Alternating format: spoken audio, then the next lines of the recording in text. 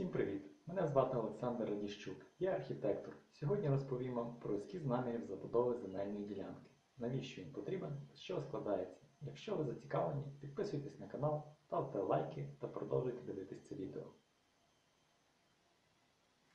Ескіз намірів забудови земельної ділянки це документація, що містить графічну та текстову інформацію про об'єкт будівництва до 500 м2 у довільній формі.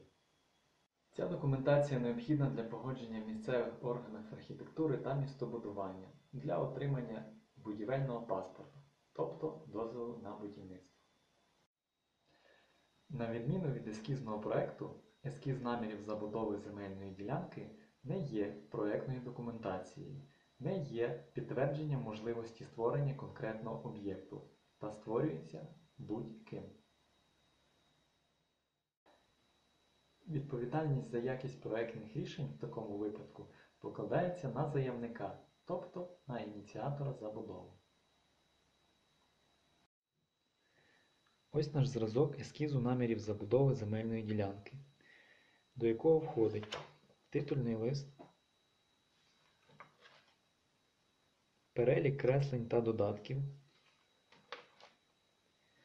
схема генерального плану зазначеними місцями розташування на земельній ділянці існуючих та проектних будівель та споруд, відстанями до меж з сусідніми ділянками, відстанями до розташованих поруч об'єктів житлової забудови та інженерних мереж і споруд.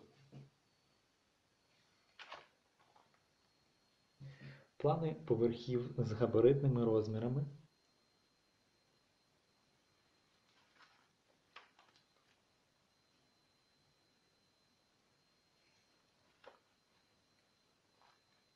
Фасади.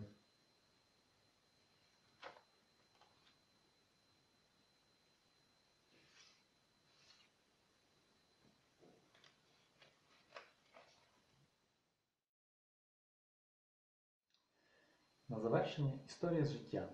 Мені доводилось оглядати житловий будинок, який був збудований за типовим проєктом. Розміщення приміщень відносно сторін світу в такому будинку зробило цей будинок менш комфортним в порівнянні з іншими варіантами, а також менш економічним, оскільки на такий будинок йде на 30% більше енергозатрат на обігрів та кондиціонування.